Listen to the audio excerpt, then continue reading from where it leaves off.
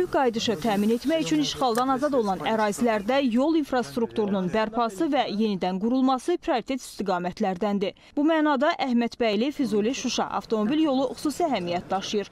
Füzuli, Xocavənd, Xocalı və Şuşa rayonlarını birləşdirən 81,7 km uzunluğundakı yolun 66-81-ci kilometrliyində işlərin 85% artıq başa çatıb.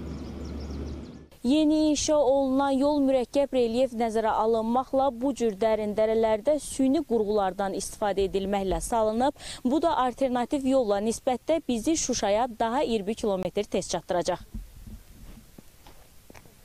Magistral avtomobil yolunun ümumi uzunluğu 81,7 kilometrdir.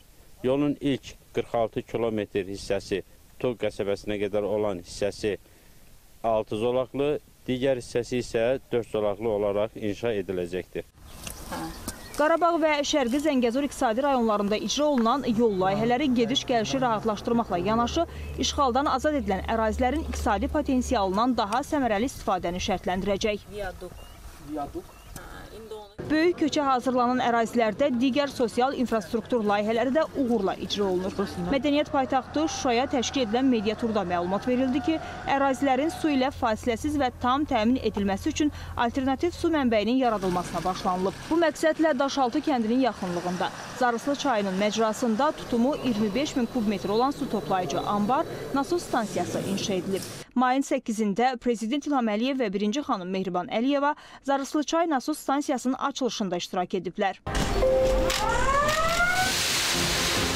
Mövsümdən asılı olaraq təbii su mənbələrində su ehtiyatları azaldığı təqdirdə məhz Zarıslı çayı üzərində yaradılan bu su anbarından Zarıslı nasos stansiyaları vasitəsilə Şuşa şəhəri su ilə tam təmin olunacaq. Bu da orada yaşayan əhalinin 24 saat ərzində su təminatını həyata keçirmək deməkdir. Zarısılı çayı üzərində qurulan 26 min kub su tutumu olan su anbar sahəsindən öz axımı ilə su bu nasos stansiyaya nəql olunur. Buradan da nasoslarla Şuşa şəhərinin yüksəkliyində yerləşən təzyiq qırıcı deyilən əraziyə suların hər üçü istiqamətdən gələn sular həmin təzyiq qırıcıya tökülür və oradan öz axımı ilə 530 diametrlik e, polad boru ilə şəhərin mərkəz anbarına nəql olunur.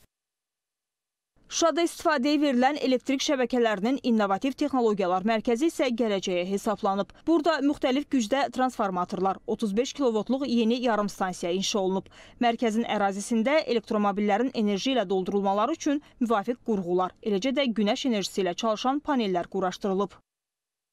3D e, mobil xəritədir, rəqəmsal əkizidir. Şuşa şəhərinin bildiyiniz kimi 3D mobil xəritəsi hazırlanıb. Onun əsasında da rəqəmsal əkiz modeli hazırlanıb ki, artıq məsafədən istənilən ə, əməliyyatları və yaxud yenilikləri, dəyişik dəyişiklikləri həyata keçirmək mümkündür.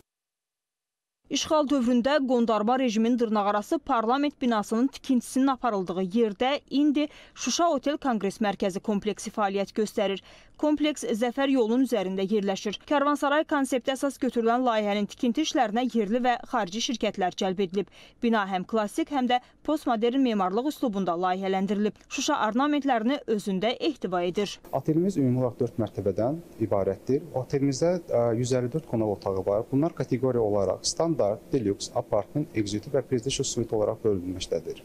Bundan əlavə otelin əsas və birinci mərtəbəsində konfrans zalımız, ziyafət zalımız, kiçik iclas otaqlarımız, restoran, spa, fitness və sauna fəaliyyət göstərir.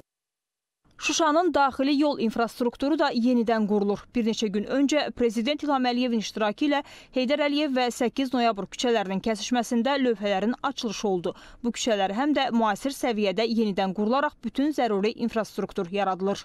450 mənzildən ibarət 23 binada tikinti işləri davam eləyir və bu ilin sonuna artıq ilk e, mərhələ, köç mərhələsi başlayacaq və şuşalılar, yüzlərlə şuşalılar həmin o 3-5 mərtəbəli binalara köçürüləcək və ən ümdəsi bizim üçün, ən önəmli məqamlardan biri ondan ibarət idi ki, bu binaların tikintisində Şuşa memarlıq üslubunu biz qoruya bilək. Çünki Şuşa memarlığının bir özünə məxsusluğu, bir özünə məxsusluğu məxsus incəliyi var.